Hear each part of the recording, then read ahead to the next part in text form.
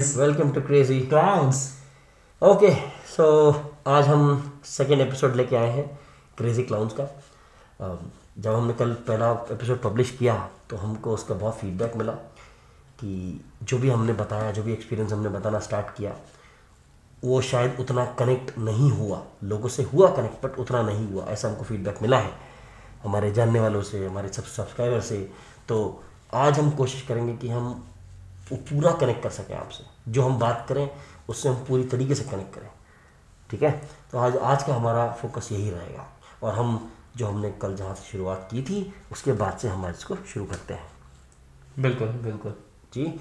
Okay तो एक चीज़ और थी जो हमने कल आ, हमको सुनने में आया जो हमको मिला फीडबैक लोगों से कि आप ने जो नाम रखे हैं क्लाउन वन क्लाउन टू वो इतना कनेक्ट नहीं हो रहे हैं।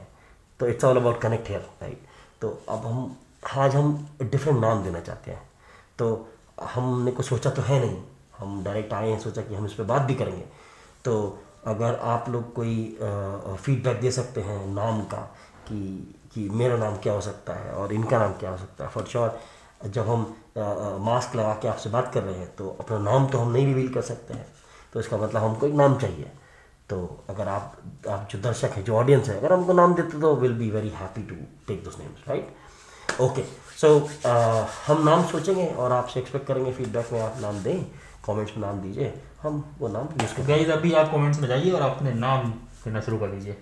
हम उसमें से बेस्ट पिक करेंगे और और हम डेफिनेटली उन नाम्स को इनकॉर्पोरेट करेंगे अपने वीडियोस में। हम वही नाम यूज़ करेंगे कोई दिक्कत नहीं है। ठीक है ओके सो चलिए अब शुरू करते हैं आज का पॉडकास्ट तो आ, हमने जो कल बात किया था हमने इनके एक्सपीरियंस के बारे में बात किया था कि आपने जब अपना करियर स्टार्ट किया ज़ीरो से करियर स्टार्ट किया आई टी इंडस्ट्री में तो आपका कैसा एक्सपीरियंस रहा? आपने इन्होंने बताया इन्होंने आ, किस कंपनी से स्टार्ट किया था कैसे इंटरव्यू हुआ आने के बाद कैसे ट्रेनिंग हुई फिर ट्रेनिंग होने के बाद इनको कैसे प्रोजेक्ट मिला? इन्होंने और भी एक्सपीरियंस शेयर किए कि जो दूसरे और लोग थे उनको क्या मिला करेक्ट इनके साथ जो जो इनके बैचमेट्स थे, उनको कौन सा प्रोजेक्ट मिला? इन्होंने वो सब बताया, ठीक है? तो वो एक एक्सपीरियंस था। बट अभी हम इनसे थोड़ा पूछेंगे और कि वो तो एक एकदम स्टार्टिंग एक्सपीरियंस था। अभी अभी तक इन्होंने वो एक्सपीरियंस बताया ही नहीं जहाँ पे ये काम के बारे में कुछ बता सकते कि जब ये इन्होंने एक्चुअली कोई कुछ काम करना स्टार्ट किया, जो डिलीवरी जिसको बोलते हैं आई इंडस्ट्री में, वो इन्होंने क्या किया? उसमें इन्होंने कैसे इन्होंने जो बाहर से, अब जैसे जितने भी फ्रेशर्स होते हैं, जो इंजीनियरिंग करते हैं, जो ग्रेजुएशन करते हैं एट द टाइम वो पढ़ाई तो करते हैं, लेकिन वो पढ़ाई उनको तब नहीं समझ में आता है कि वो पढ़ाई का यूज़ क्या है आगे जाके। How that becomes job right हम बहुत सारी चीज़ हम स्कूल से पढ़ते आते हैं फिजिक्स केमिस्ट्री मैथ्स फिर कॉलेज में सब्जेक्ट्स पढ़ते हैं बट हमको पता नहीं होता ये कि कैसे यूज़ होने वाला है, कैसे काम वाला है। तो हम इनका एक्सपीरियंस देखेंगे, ये हमको बताएँगे कि इनका एक्सपीरियंस क्या रहा है। इन्होंने कैसे वो चीज़ें ट्रांसलेट करी? अपने काम में। ये हमको बताएँगे। अब अब आते हैं आपके ऊपर। आपने जहाँ से कल आपने छोड़ा था कि आपकी ट्रेनिंग हो या आपको प्रोजेक्ट मिल गया। तो जब प्रोजेक्ट मिल गया, अभी आपको ये सोचना है कि आपको काम क्या करना है। आप ऐसा क्या करोगे कंपनी में जाके जो जिससे, जिसको जॉब बोला जाएगा? जॉब इस क्या होता है जॉब आप कहीं जाते हो, कुछ काम करते हो, और उससे आप पैसा कमाते हो। यही जॉब होता ना। तो किसी को पूछो कि बैंक में जॉब क्या होता है, वो बोलेगा कि नहीं भाई अकाउंट्स में कितना पैसा आया कितना पैसा गया, वो मेंटेन करना that becomes job just an example अभी वो जॉब हो गया, चलो ठीक है, उससे आप पैसा कमा रहे हो। बट आईटी में आपने क्या करते हो ऐसा जॉब आप उससे पैसा कमाते हो। आपको भी क्वेश्चन रहा होगा राइट तो आपने, अब आप बताइए, आपकी ट्रेनिंग के बाद जब आप प्रोजेक्ट में आए तो आपका एक्सपीरियंस कैसा रहा? कैसे आपने how how did you actually made your way in the project saying that this is a fresher who who doesn't know how to work who know just part of technology बहुत कम, ज़्यादा नहीं, उसने अपना कैसा रास्ता बनाया? जी। तो जैसे ही मैं प्रोजेक्ट में ऑन बोर्ड हुआ, जैसा कि हम लोगों ने लास्ट वीडियो में इस बारे में बात की थी हाँ। कि हमारी ट्रेनिंग कैसी रही क्या रहा हमें क्या एक्सपीरियंस मिला उस ट्रेनिंग ट्रेनिंग के दौरान? हाँ। तो उस ट्रेनिंग के दौरान मैं कहूँगा कि जो छः महीने की हमारी ट्रेनिंग हुई उसमें हमें काफ़ी चीज़ें ओवरऑल मतलब पॉइंट्स टच किए गए। जस्ट ओवरव्यू कि ये चीज़ें आप लोग ये टर्म्स सुनोगे आगे जाके। हम अभी आपको बहुत ब्रीफ में गाइड कर रहे हैं। आगे जाके आप ये टर्म्स को सुनने वाले हैं या फिर इनको इम्प्लीमेंट करने वाले हैं।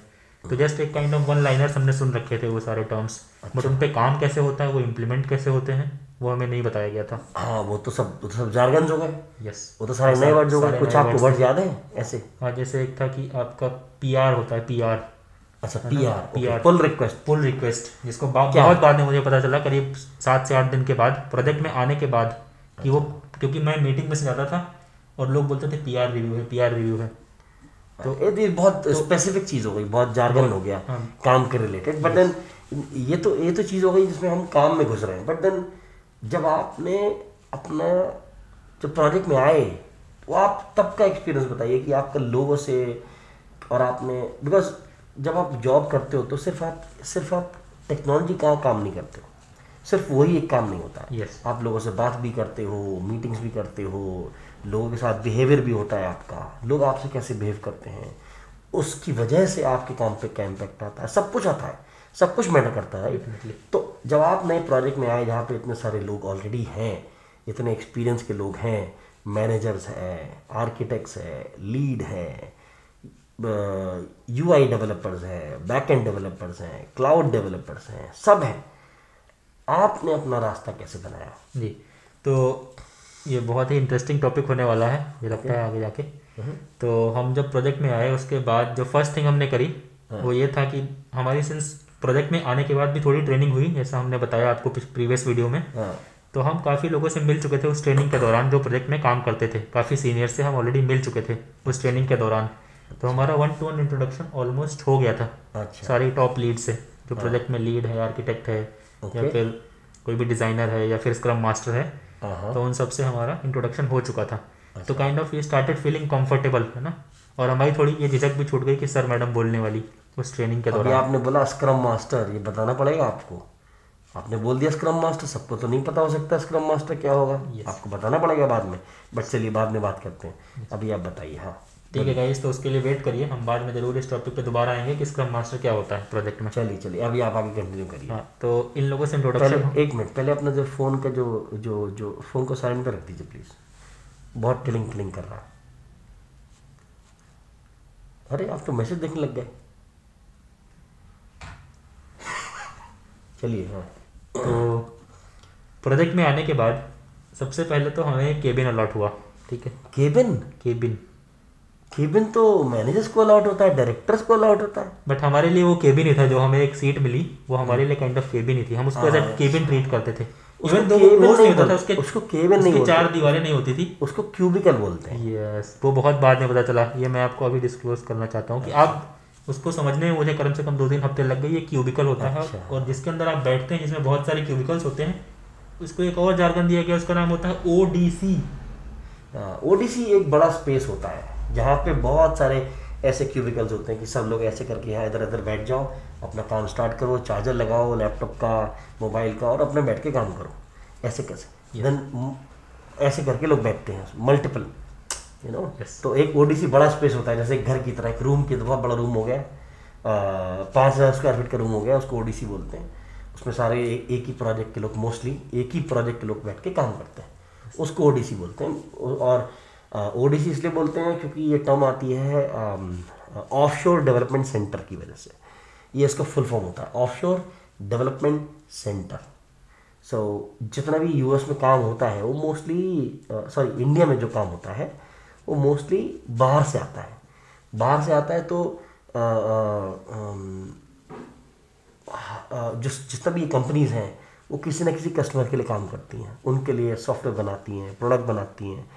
तो ये जो डेवलपमेंट सेंटर है वो उन कस्टमर के लिए नहीं है। तो कस्टमर तो ऑन हो गया। ऑन हमारे इंडिया में भी हो सकता है इंडिया के बाहर भी हो सकता है। बट जब ये डेवलपमेंट सेंटर उनकी तरफ़ नहीं है और ये कंपनी की तरफ़ है इसलिए इसको ऑफशोर डेवलपमेंट सेंटर कहते हैं।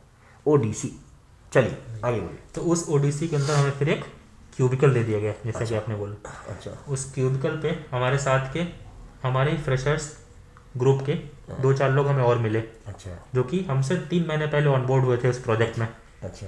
तो हमें ये लगा कि सबसे पहले पॉइंट ऑफ़ कांटेक्ट हमारा क्या होगा? क्योंकि सिंस वो हमारे ही एज ग्रुप के हैं हमारे ही एक्सपीरियंस लेवल के हैं ऑलमोस्ट हाँ। तो उनसे हम ज़्यादा कंफर्टेबल थे बात करने में इनिशियली अच्छा। तो हमें हम उन्हीं को पहले अप्रोच करते थे कि सिंस तीन महीने से ऑलरेडी इस प्रोजेक्ट में हैं तो इन्हें काफ़ी चीज़ें पता होंगी इस प्रोजेक्ट के बारे में कि ये प्रोजेक्ट की सेरेमनीज क्या है ये कैसे रन होता है है ना? हाँ। इसका आर्किटेक्चर क्या है क्या डिलीवरी मॉडल है इसका? क्या स्प्रिंट रिव्यू है? क्या है? ये सारे जार्गन्स हैं स्प्रिंट रिव्यू एंड ऑल अगर आप लोगों को नहीं पता तो हम उन पर दोबारा बात करेंगे कभी। हाँ। तो ये सब बारे में सबसे पहले हम उनके पास जाते थे। उनसे कुछ कुछ चीज़ें पीओसी करने के लिए लेते थे। कुछ प्रूफ ऑफ़ कॉन्सेप्ट करने के लिए। कुछ चीज़ें उनसे मांगते थे कि हमें भी कुछ सिखाओ। तो हमें वो कुछ या तो ट्यूटोरियल्स के कुछ लिंक देते थे। लिंक्स देते होंगे वो आपको नहीं तो डॉक्यूमेंट्स देते होंगे पढ़ने को नहीं तो आ, वो खुद बताते होंगे। देखो बैठो ऐसे होता है। डिफरेंट डिफरेंट वो यू खोल के वो आपको बताते होंगे देखो इसको ऐसे करते हैं इसको ऐसे करते हैं। लेकिन उसमें सबसे बड़ा चैलेंज ये आता था कि जब वो भी हम यूआरएल्स खोलते थे हाँ। तो जहाँ तक थ्योरी थी वहाँ तक तो हमें बहुत अच्छा लगता था पढ़ने में बड़ा मज़ा आता था। तो थ्योरी तो आप पढ़ ही लेते हो होगे क्योंकि आपका एकेडमिक में आप ऐसे ही थे बट थ्योरी इज़ एक चीज़ हो गई बट उससे प्रैक्टिकल कन्वर्जन यस मैं वहाँ पे आ रहा हूँ हाँ, कि जैसे ही हम उस ट्यूटोरियल को खोलते थे कोई भी लिंक वहाँ पे जब तक उसकी थ्योरी होती थी तब तक हमें बड़ा अच्छा लगता था। अरे इट्स वेरी इजी ये तो बस लिखा है यही हम इम्प्लीमेंट कर देंगे। और हमें था ये हम क्योंकि इसी बैकग्राउंड से हैं तो हमें लगता था कोडिंग से डर। बात तो सच ये है। अच्छा। तो जैसे ही ट्यूटोरियल्स के अंदर कोडिंग वाला पार्ट आया थ्योरी खत्म होने के बाद में हम वो ट्यूटोरियल क्लोज कर देते थे। हम वहाँ पे जाके क्रॉस नया ट्यूटोरियल खोलेंगे। हाँ क्रॉस ये ये तो इम्प्लीमेंटेशन बता रहा है आज पहले दिन में। तो थ्योरी पढ़ के हमारा काम वहाँ पे हम बंद कर देते थे। हाँ, क्योंकि हमें कोड देखते ही डर लग जाता था। कि ये इसमें क्या लिखा है? मतलब कोड देखते ही फट जाती थी। यस हाँ फिर? मेरी हालत ख़राब हो जाती थी सही बता रहा हूँ। हाँ, तो फिर उन्होंने बोला कि आप आओ हमने कुछ पीओसी अपने सिस्टम पे कर रखी हैं। तो हम उनके सिस्टम पे किनारे ऐसे बैठ जाते थे जाके सिस्टम पे हाँ, चेयर लगा के अपनी हाँ, और उनके सिस्टम में देखते रहते थे कि डिबगर कहाँ लगा रहे हैं। एप्लीकेशन वो रन करते थे और हम उसमें देखते रहते थे हाँ, कि कहाँ से कहाँ कंट्रोल जा रहा है। अरे एप्लीकेशन रन हो गया? अरे ये क्या है? उसके बाद एक बड़ा सा यूआई पेज पे कुछ लोडर घूम रहा है। ये सब छोटे छोटे हाँ। पीओसी करते थे जैसा आप लोग सब लोग नॉर्मल जब कोई वेबसाइट ओपन करते होंगे तो आपको बहुत सारा चीज़ें दिखता होगा अच्छा लगता होगा। कंट्रोल्स होते होंगे डिफरेंट ये ऐसे चल रहा है वो ऐसे घूम रहा है इधर ये इधर ये ऐसे ओपन हो रहा है ये ऐसे स्लाइड होके आ रहा है तो वो वो सारी चीज़ें बता रही हैं। तो बड़ी क्यूरियोसिटी होती थी वो देख के कि ये सब कैसे रन हो रहा है। तो हम क्या करते थे कि एक ही बार में बहुत सारे सवाल दाग देते थे। दस बीस सवाल हम एक बार में दाग देते थे कि ये कैसे हो रहा है ये बताओ कैसे हो रहा है ये कैसे हो रहा है अरे ये कहाँ से आ गया? तो वो लोग हमें यही बोलते थे कि ये सब धीरे धीरे समझ में आएगा। हाँ। It's very start from very basics हाँ क्योंकि फ्रेशर क्योंकि ग्रेजुएट को नहीं आता है वो चीज़ें नहीं आती हैं। और जब ये जब बात आती है कि एक आता है रीड करना कि टेक्नोलॉजी कैसे चलती है एक आता है उसको काम पे लगाना कि जब एक पर्टिकुलर आप बोलते हो नहीं मैं ये वेबसाइट बनाऊँगा या ये सॉफ्टवेयर बनाऊँगा। तो उसके लिए एक अलग लेवल का कोडिंग लगता है। उसके लिए वो सिंपल कोडिंग लग ही नहीं सकता है जो आप सब लोग जैसे हेलो वर्ल्ड प्रोग्राम बनाते होगे सी प्लस प्लस में जावा में सी शार्प में तो ये हेलो वर्ल्ड नहीं चलता है यहाँ पर हेलो वर्ल्ड सीखने के लिए ठीक है कि नई चीज़ कैसे सीखा जाए बट ये अलग लेवल का होता है। कोडिंग चलिए। तो फिर उसके बाद में वहाँ हमारी थोड़ी बहुत तैयारी हुई। हाँ। मतलब एटलीस्ट हम कोड देखने के लायक हो गए। हाँ। कि हम कोड देख सकते हैं स्क्रीन में। हमें घबराहट नहीं होती थी इसके बाद। कुछ कुछ हद तक घबराहट कम हुई। लेकिन क्या होता है कि जब तक आप देखते हैं दूसरे के स्क्रीन में आपको बड़ा अच्छा लगता है सब कुछ देख के कि मैं ये कर लूँगा। लेकिन फिर जैसे ही हम अपनी सीट पे जाते थे उस सीट से जैसे ही हम अपनी सीट पे गए और जैसे ही हमने एक फ़ाइल बनाई हाँ। मेन डॉट अब सोच रहे होंगे क्या करना क्या अब उसमें करूँ क्या मैं? लिखना क्या है? तुरंत भूल गए। कहाँ से स्टार्ट करना है? हाँ, फिर हम उनसे क्या करते थे कि अपना कोड जिप करो और मुझे भेज दो। हाँ, फिर? तो वो अपना कोड भेजते थे हमें। हाँ। अब सेम कोड उनकी मशीन पे चल रहा है हमारी मशीन पे नहीं चल रहा है पहली बार में। कॉपी पेस्ट में भी। कॉपी पेस्ट में भी। तो हमें लगता था कि अरे हम ऐसी क्या गलती कर रहे हैं ऐसी मतलब फुलिशनेस क्या कर रहे हैं कि सेम कोड उनकी मशीन पे चल रहा है हमारे पे नहीं चल रहा है। तो हम हम हम पहले तो अपने में कॉन्फिडेंट रहते थे हमेशा। फ्रेशर का तो यही होता है कि अपने में जितना आता है उसमें तुर्रम खा है। बस बस। तो हम ये आइडेंटिफाई नहीं करते थे और एरर देखते ही हम ये बोलते थे हमेशा कि एरर आ रही है। हम कभी ये नहीं बता पाए आज तक दो तीन महीने में स्टार्टिंग में कि क्या एरर आ रही है। बस एरर आ रही है। इशू क्या है? तुम्हारे सिस्टम पे चल रहा है मेरे में क्यों नहीं चल रहा है? हाँ, तुमने सेम कोड दिया है तो वहाँ पर एक चीज़ आती थी कॉन्फ़िगरेशंस हम्म। या फिर कुछ आपके एनवायरनमेंट स्पेसिफिक कॉन्फ़िगरेशन हैं जो नहीं आते वो थोड़ा टेक्निकल ज़्यादा हो जाता है। हाँ तो बेसिकली मतलब आप चलाते थे वो चलता नहीं था क्योंकि कुछ तो फ़र्क रहता होगा। क्योंकि आप नए हो आपको सब कुछ नहीं पता है। तो मेरे ख्याल से ये जो चीज़ है ना कि आपने कुछ किया वो नहीं चला। तो ये एक लर्निंग है। जो कि आपको कोई एक बार में दे ही नहीं सकता है। कोई बोले कि नहीं, आप बैठो, हम सेशन लेंगे, हम आपको सब कुछ बता देंगे, इसके बाद कुछ मिस नहीं होगा, ऐसा होता ही नहीं है। वो आपको कितना भी सब कुछ बता दें, फिर भी आपका एक बार में चलेगा नहीं। और वो आपकी लर्निंग होती है। तो कभी घबराना नहीं है उससे कि हमने लिया है और किसी से कोड या कुछ लिया है, वो चल नहीं रहा हमारी मशीन पे, हमारे कंप्यूटर पे, हमारे लैपटॉप पे तो हमें उससे घबराना है। नो हमको वो लर्निंग की तरह लेना है। और सबसे बड़ी बात यह है कि इसमें कोई आपको आपको ये नहीं समझता कि आप बेवकूफ़ हो। क्योंकि फ्रेशर फ्रेशर से ग्रेजुएट से एक्सपेक्टेशन लीस्ट होती है। Because you are new you come here to learn तो आप जब वो चीज़ें फेस करते हो ना तो और आप बोलते हो, इशू आया है। फिर आप पूछते हो और आप उसको करके खुद ही फिक्स करते हो पूछने के बाद तो वो रिकग्नाइज होता है। और यहाँ पर कोई रिकग्नाइज करता है कि चलो इसने खुद एरर फेस करी पूछने आया हमसे सीखा और इसने चलाया। ये अच्छी बात होती है। और यहाँ पे मैं एक चीज़ आप लोगों को ये ये मैं स्ट्रेस करना चाहूँगा इस बात पे कि फ्रेशर्स का माइंडसेट ऐसा होता है स्टार्टिंग में कि हम कोई भी डाउट हो या फिर कोई भी एरर आ रही हो हाँ। तो हाँ। हम बहुत झिझकते हैं पूछने में। बहुत ये नहीं आता। कहीं सीनियर्स हमारे ये ना सोच ले कि यार तुमको लिस्ट में एक आइटम डालना नहीं आता। तुमको लिस्ट इनिशलाइज करनी नहीं आ रही है। और हमें डर सबसे बात सबसे बड़ी चीज़ का इसका होता है स्टार्टिंग में एज अ फ्रेशर जो मुझे भी था। जब भी हम किसी सीनियर के पास लैपटॉप लेके जाते थे तो सबसे बड़ा डर ये रहता था कि कहीं वो ये ना बोल दे कि एक लिस्ट इनिशलाइज कर दो मेरे सामने। मतलब यू स्टार्ट हाँ, इनिशलाइजिंग ये काम कर दो। ये काम कर दो मेरे सामने। तो उनके सामने अगर मुझे एक लाइन आती भी थी पहले तो मैं भूल जाता था। हाथ कांपते हुए। हाथ हाथ एकदम कांपते थे दिमाग नहीं चलता हाँ, हुआ। दिमाग नहीं चलता था। तो वो मैं भूल जाता था। मैं आपको इस पर एक बात बताता हूँ और आप सबको। क्योंकि मैंने बहुत सारे ग्रेजुएट्स को फ्रेशर्स को ग्रूम किया है। मैं बहुत टाइम से इस इंडस्ट्री में हूँ तो मैंने, मैं खुद भी फ्रेशर रहा हूँ, फिर मैंने ग्रूम भी किया है।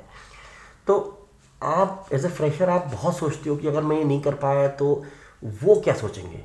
मेरा लीड क्या सोचेगा? मेरा मैनेजर क्या सोचेगा? या मेरा जो बैचमेट है, वो कर ले रहा है अगर तो वो क्या सोचेगा? नहीं, ये जजमेंट नहीं रखना है अपने ऊपर। आप सीखने आए हो अगर आप जजमेंट को ज़्यादा सोचोगे तो आप नहीं सीख सकते हो। आपको सीखना है तो आपको जजमेंट को साइड में रखना है और आपको कोशिश करना है कि जितना ज़्यादा से ज़्यादा आप ट्राई करोगे उतना ज़्यादा मिस्टेक करोगे। उतना ज़्यादा पूछोगे उतना ज़्यादा ही सीखोगे। यही सबसे बड़ा एम है एक फ्रेशर का एक ग्रेजुएट का जब वो आईटी इंडस्ट्री में आते हैं। यही एम होना चाहिए। अगर आगे तक सीखना है और अपना बेस स्ट्रॉन्ग करना है और आगे सक्सेस गेन करना तो यही यही मैं मानता हूँ कि एक प्लस पॉइंट भी है फ्रेशर्स के लिए। बहुत बड़ा प्लस पॉइंट है। कि आपसे कोई एक्सपेक्टेशंस नहीं पहली बात तो डिलीवरी में। यस आप उस टाइम को यूटिलाइज कर सकते हैं अपनी लर्निंग में। यस और आप you can ask as many questions and as silly as you as you want you know there is no question is not silly yes yes so you can ask as many questions of course okay so वैसे आ, आज का video हो गया है करीब अट्ठारह बीस मिनट का। तो हम इसको रैप करेंगे। हम इसी हम लोग ट्राई कर रहे हैं, हम वीडियोस छोटे रखें पॉडकास्ट छोटे रखें, अभी के लिए। आगे जाके देखेंगे लेंथ बढ़ाना है बट हम छोटा पॉडकास्ट रखते हैं सो दैट सबका इंटरेस्ट बना रहे, है ना? सबका फोकस बना रहे, बस। तो ठीक है, ये तो आपका एक्सपीरियंस आप जो बता रहे हैं। But then before we close this in couple of more minutes कुछ ऐसा बताना चाहेंगे आप जो कि छोटे से टाइम बताया जा सके और आप कंप्लीट रामायण ना सुनाएँ इसके बारे में? मैं तो यही कह सकता सॉरी बोलिए इस चीज़ के लिए तो मैं यही कह सकता हूँ छोटी सी बात के लिए कि कुछ लोग आपको प्रोजेक्ट में ना जब भी आप किसी भी प्रोजेक्ट में जाओगे तो चाहे सीनियर मतलब लेवल में हो या फिर जूनियर लेवल में हो कुछ लोग आपको बहुत फनी मिलने वाले हैं। अच्छा। तो आप उस टाइम को लिटरली आप लोग इन्जॉय करिए हाँ। किसी भी प्रोजेक्ट में। एक या दो बंदे ऐसे आपको मिलेंगे जो आपको बहुत ज़्यादा फन कराने वाले हैं। यस तो इस पर भी हम कभी बात करेंगे कि हमारे प्रोजेक्ट में कौन वो थे? ऐसे महारथी? यस यस नाम तो नहीं लेंगे देखिए नाम तो नहीं लेंगे। बट हाँ आपको एग्ज़ाम्पल ज़रूर देंगे। आपको रियल सिनेरियो से ज़रूर बताएँगे तो आपको कंफर्टेबल होगा कि हाँ आप जब जब कहीं जा रहे हो कहीं ज्वाइन कर रहे हो तो ऐसा नहीं है कि लाइफ बहुत डिफ़िकल्ट होने वाली लाइफ इज़ गोना बी और every moment is gonna be enjoying तो अगर आप किसी भी प्रोजेक्ट में ऐसे हो जहाँ आपको लगता है कि बहुत रियूड पीपल हैं या फिर नॉट सो कंफर्टेबल पीपल हाँ। आप सर्च करो एक ना एक बंदा ऐसा ज़रूर होगा एक दो प्रोजेक्ट जो मस्ती मज़ाक वाले होंगे यस यस कि आज खाने कहाँ चल रहे हैं। कल का ट्रिप का प्लान है। यस यस ऑफ़ कोर्स चलो क्लास लेके बैठ जाते हैं फ्राइडे को। तो ऐसे लोग आपको ज़रूर मिलेंगे। Very good okay so I think अभी वीडियो हो गया है ट्वेंटी टू ट्वेंटी मिनट्स का। वी शुड वाइंड अप तो इसको आज को वाइंड करते हैं yes. और हम नेक्स्ट uh, वीडियो में हम लोग ट्राई करेंगे। हम और फर्दर एक्सपीरियंस बताएँ। देखिए अगर आपको लगता है कि जो हम बात कर रहे हैं उससे आप अ, अ, वो इंटरेस्ट नहीं बना रहा है बोर हो रहा है। तो प्लीज़ हमको फीडबैक दीजिए कमेंट्स में। हम इसको इंटरेस्टिंग बनाने का कोशिश करेंगे बिकॉज़ हमारा एम यही है कि हम आपको ज़्यादा से ज़्यादा अवेयर कराएँ कि जब आप आईटी इंडस्ट्री में आते हो एंड वी आर फोकसिंग मो मेजरली जितने भी आईटी इंजीनियर्स हैं, जो भी इंजीनियर्स हैं, जब वो जाते हैं कॉर्पोरेट वर्ल्ड में तो उनको कैसा फेस करना पड़ता है? देख बिकॉज़ आप लोग बहुत सारा अननोन्स के साथ जाते हो राइट तो हम आपको वो चीज़ें, वो सिनेरियोज बताएँ ताकि आपको वो अनकंफर्टेबल ना लगे। और आपको एक आइडिया हो कि हाँ ऐसा होता है ऐसा आप होप कर सको। ठीक है? तो आपको ये ज़्यादा हेल्प करेगा कि आप जब आप उस वर्ल्ड में जाओ तो आप उसको ईजीली अडाप्ट कर सको। तो हमारा एम यहाँ पर ही। है so feedbacks are always welcome and आज के लिए हम इधर ही फिनिश करते हैं। हम नेक्स्ट पॉडकास्ट में मिलेंगे। I don't know wait I don't know हम कब रिकॉर्ड करेंगे बट हम जल्दी रिकॉर्ड करने की कोशिश करेंगे। मिलते हैं आपसे next podcast thank you see guys later